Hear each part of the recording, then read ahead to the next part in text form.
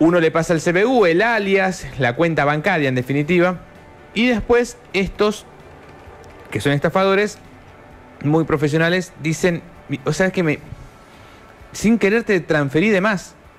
¿Me puedes devolver lo que te transferí?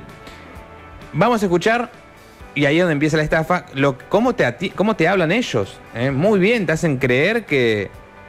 Vamos a escucharlo. Osvaldo, ahí le hice la transferencia a su hija. Por favor, ni bien le ingrese el dinero, que me avise, ¿sabes? Estaba visualizando el video que me enviaste y está, está bonito, está completamente nuevo, está. Fíjate vos que le dice, eh, está, estuve viendo el video, que evidentemente le manda un video del grupo electrógeno, o sea, él, se muestra interesado, la, veo, la verdad que veo que está muy lindo, le dice, haciendo referencia al grupo electrógeno, ¿no?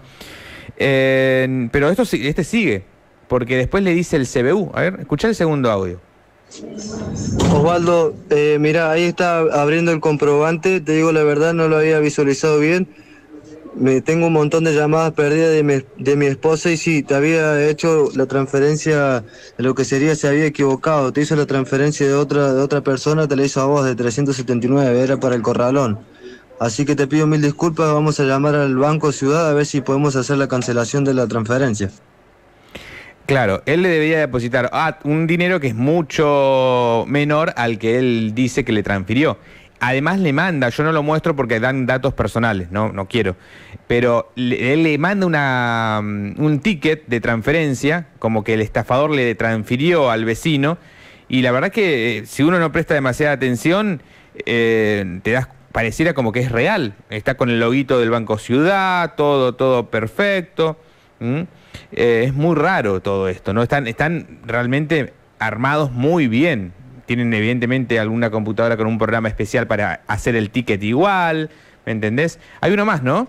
Hay un audio más y, escuchen cómo sigue este intento de que el delincuente hace que vos termines transfiriéndole a él. Escucha. Mira, eh, te pido mil disculpas, Osvaldo. Se confundió mi esposa, le te envió la plata de lo que sería de uno de nuestros empleados del corralón que teníamos ahí y mira, estoy totalmente nervioso, no es una broma, no quiero que me devuelvas otro importe que no me tengas que devolver.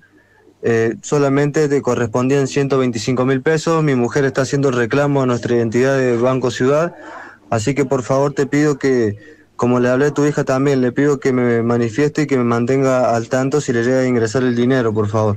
Bueno, y después ya empieza a pedirle, empieza a pedirle que por favor le transfiera, que por favor le transfiera, que por favor le transfiera. Pero en el medio de todo esto, un segundo teléfono se comunica con él, ya cierro, un segundo teléfono se comunica con él.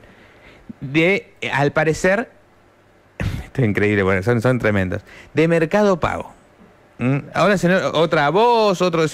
Acá vemos que usted eh, recibió dinero. O sea, cuando el Mercado Pago no se va a comunicar nunca con vos, con, nosotros, ¿se entiende, no? Y ahí algunos entran en pánico y terminan, para no tener problema, transfiriendo plata. Digo, presten mucha atención porque nadie se comunica con nosotros, ni de Mercado Libre, ni Mercado Pago, ni de nada, ¿no? Esto lo transmitimos en la radio, en la tele, para que no sean más vecinos los que terminen engañados. Esta persona finalmente se dio cuenta y lo sacó para el campito, como se dice, ¿no? Eso te Pero cómo termina todo esto, ¿no? Se da cuenta y no, bueno, no le deposita nada y que no me llames más, ta ta ta ta ta ta, ta le dijo de todo. Pero por favor no caigamos en esta, ¿no? Gracias a este oyente que se comprometió, nos pasó los audios, nos autorizó que pasemos los audios y demás, ¿no? Pero bueno, hay que prestar mucha, mucha atención.